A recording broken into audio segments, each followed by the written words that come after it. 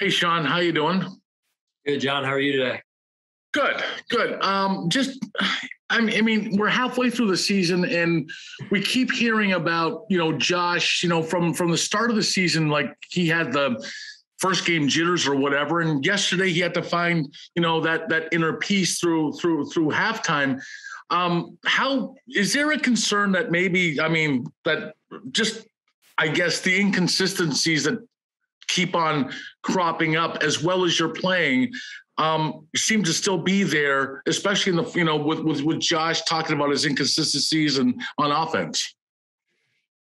I mean, look, you, he's human, right? And um, you know you're going to have games that may start off a certain way in this case, and I think the positive of it is really John that he was able to find his rhythm and you know the second half there, and and uh, you know uh, lead us to a couple of touchdown drives and, in important situations in the game there. I get that. I, am just trying to be a, a, bit of a contrarian because you're halfway through the season. And how good is this team right now, do you think?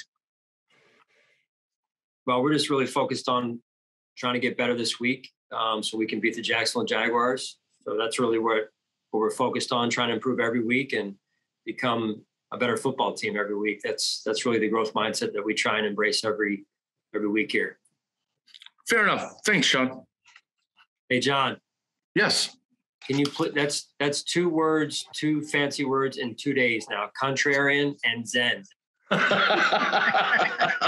gonna need a thesaurus or a dictionary to look all this stuff up here, man. Well, hey, well, I, I am trying to keep uh, people educated. I guess I don't know. I'll just keep I'll just keep staying on. I, I learned by uh, being on these Zoom calls.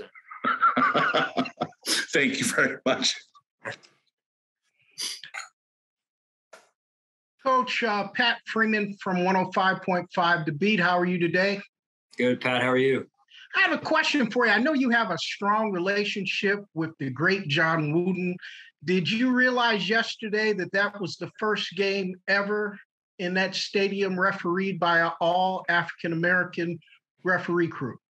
I did. Yeah, that was uh, that was great to see and and, uh, and, and good to work with those guys. Uh, yesterday throughout the game. Thought they did a good job. And my second part of the question did they give you a satisfactory explanation of the play right before halftime? It looked like it was a miss encroachment uh, on their part. Did they give you a satisfactory explanation of why it wasn't called? Uh, I got an explanation, uh, and I'll just leave it at that. So, whether satisfactory or not, um, I got an explanation, which is all I can ask for at that uh, in that situation. So. All right. Thank you, coach. Sure. Sure thing. Hey, Sean, Thad Brown. Good to see you, man.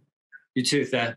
Um, on that play, you know, you guys have been a team that like to work, you know, try and draw guys off sides, have a quarterback that's been pretty good with it. Even if the offside was called, it was explained on TV that the, the intentional grounding would have negated it. So for a team that does that a lot, what lessons did you learn from it? Because obviously that one did not go anywhere near the way you wanted it to go. Yeah, I think overall, really, we got to be better with that. That I mean, it's um, it didn't go the way it didn't go the way that we intended it to uh, from start to finish, and and and so we've got to do a better job executing uh, in those situations. Is it is it simply that maybe that Josh needs to be more ready to actually run a play as opposed to trying to officiate the game while he's playing quarterback, or is that too simple a way to look at it? It's probably uh, I mean, I think it's probably just too simple to look at it that way. There's just a lot of things we can do better. We've had other situations like that this year. Um, we, have got to execute at a higher level, more detailed, more discipline, um, and that's that's really what it comes down to. Thanks, Sean. Appreciate it. Yep. Sean Sal here from WGR. Thanks as always for doing this. Sure thing, Sal. Uh, a couple decisions I want to ask you about. Number one, um, first series of the game for the Dolphins, second play, I believe it was. How close did you come to challenging if uh, Tua's knee was on the ground before he got rid of it. Yeah, real close. Um, you know, we were getting in. I was getting information from upstairs. Uh, I didn't see the replay in house at that time, and and uh, and then it was third down. Thought we had him in a third and long, an advantageous situation for us. Uh, they converted, obviously, um, but just felt like the information I was getting was it's close, and uh, because of the cost benefit of that, I felt like we had him in a situation that we could get off the field in. And uh, I always try and weigh that as well as, you know, it was the first series of the game. Um, never really want to lose timeouts, especially early in the game like that. So, um, you or late in the game, obviously as well. But um, felt like you know we still had him in, a, in an advantageous situation for us. And the second one is Tyler Bass's 57 yard field goal. I talked to him after the game. He gave you a lot of credit for having faith in him. You talked pregame about what yard line, obviously the win could factor in. Just what was the process of going through and determining that that was a spot that you were going to allow him to attempt that field goal? Yeah, um, Tyler does a great job. Great operation. I mean, the whole 11 guys, all, all 11 guys that were out there, that's what it takes to execute at that level uh, in the way that they did. And um, Heath Farwell, a special teams coach, um, said he liked it. Said Tyler liked you know where we were in the situation, and that helps me because I know that that's an option and the options on the table. And um, you know we were in one of those situations where you're kind of in between, and and you want to go for it. You know, you're fourth, and I think it would have been fourth and long, if I'm not mistaken. And um, so he liked it, so we went with it. Thanks, Coach. Sure thing.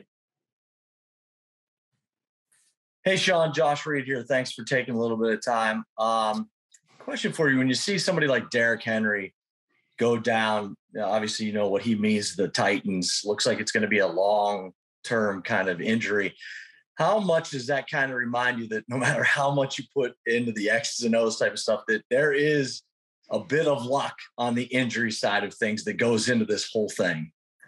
Yeah, it reminds me of Jim Johnson, who I worked with in Philadelphia. Um, would always say that he'd say you need a little bit of luck, and luck comes in different forms, right? Staying healthy is one of them, and the ball bouncing your way at times uh, is another, and especially in pivotal pivotal games and pivotal moments of pivotal games. So that all that all, um, I think you need to have some of that as well. So. Yeah, that's all. That's all I had, Sean. Thanks so much. Appreciate it. Yeah, sure thing.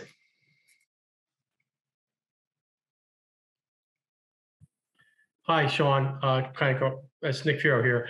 I want to ask about your offensive line. You know, obviously the uh, injury to Brown um, forced you to shuffle around some positions. What did you see from them and uh, from that uh, that offensive line in, the game? And um, do you have an update uh, with us with Feliciano?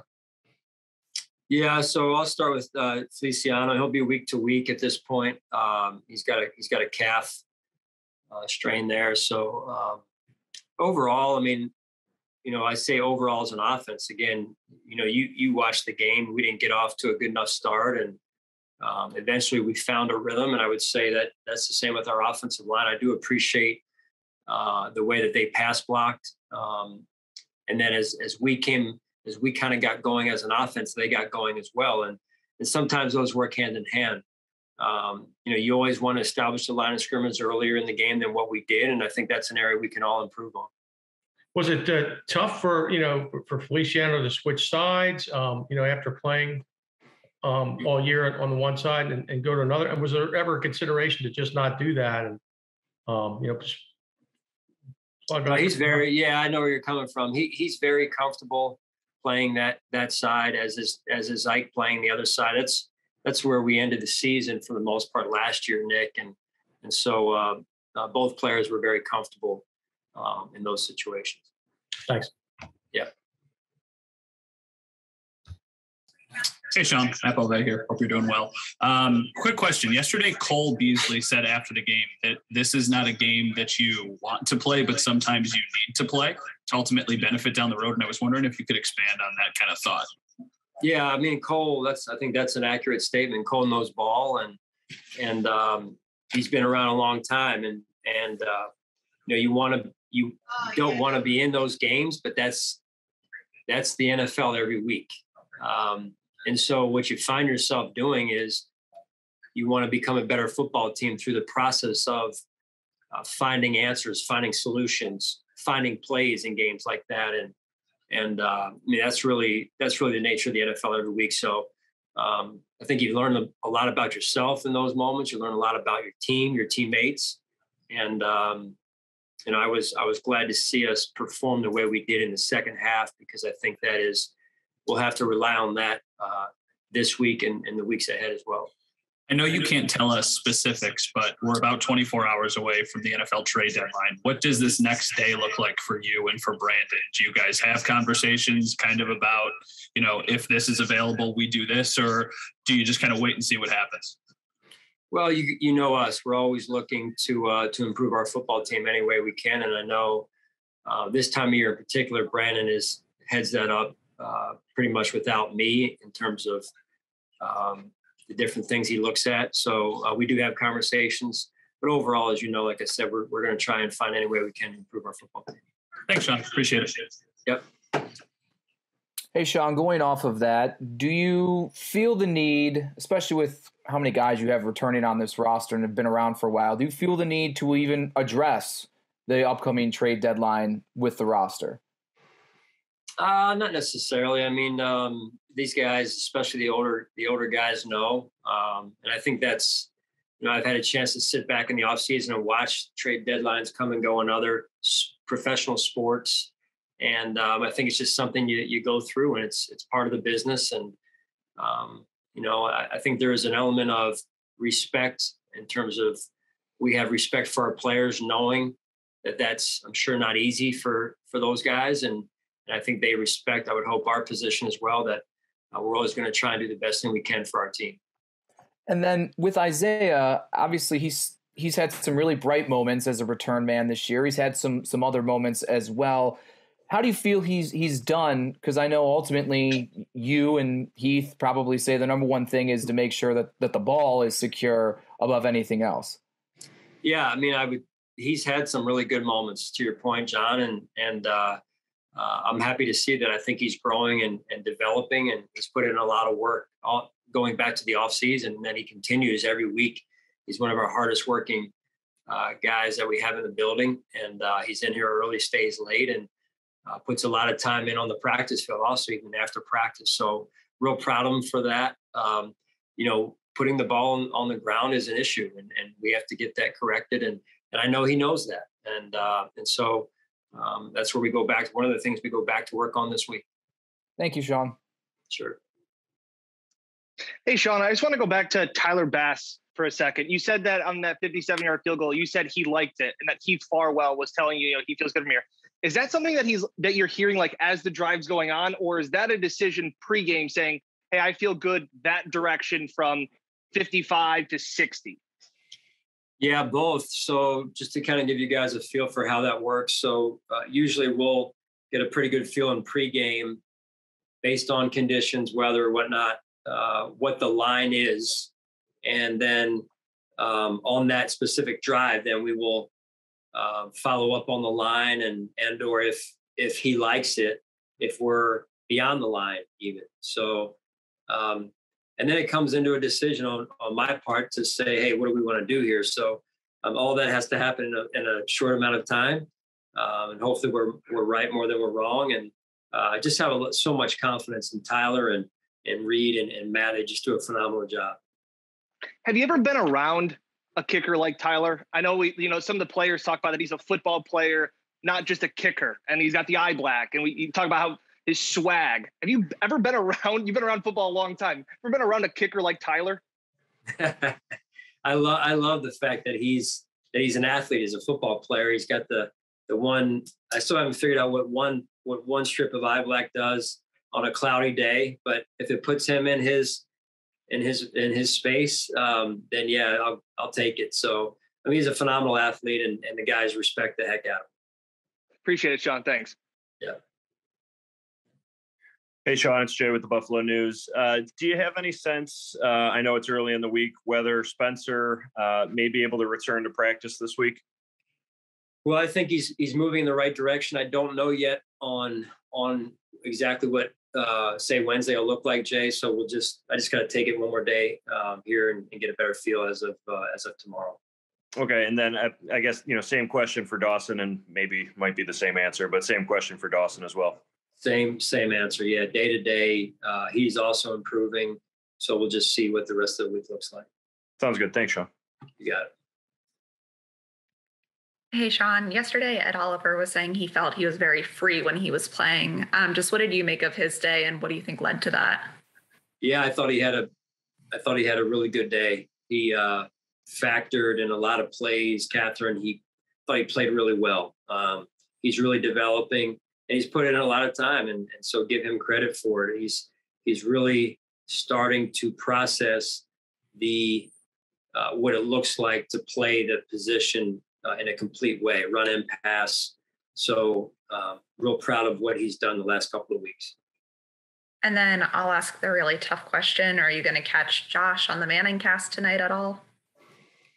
Uh, is he on tonight? Oh, Oh, good for him. yes. Okay. Yeah. Well, maybe I'll try and turn it on, and uh, I'm sure it'll be a knowing Josh's sense of humor and and the Manning brothers' sense of humor. That'll be uh, that'll be good TV for everyone out there, all the viewing all the viewing folk out there. Thanks, Sean. Yeah. Hey, Sean, I wondered uh, just after you watched the tape today, what your biggest takeaway was in terms of the performance of your defense, just your overall opinion of how they played yesterday. Yeah, I thought it was. Um, you know, look, I I have high standards, right? So, and those those guys know that, and the coaches know. I probably drive the coaches crazy. Um, but I thought it was a really good game plan. Miami, give them credit, came out with a good plan. Uh, Leslie and the defensive staff countered, and um, you know, really aside from that last drive on the touchdown drive, I thought they played played good ball, good football, and in particular, excuse me, the you know, I know it was a kind of a freak play, but the sudden change defense is always important. The one right before half, and then um, to come out after half and have, I think it was three straight three and outs, really set us up in good field position to to cash in with the offense, which uh, they did a great job.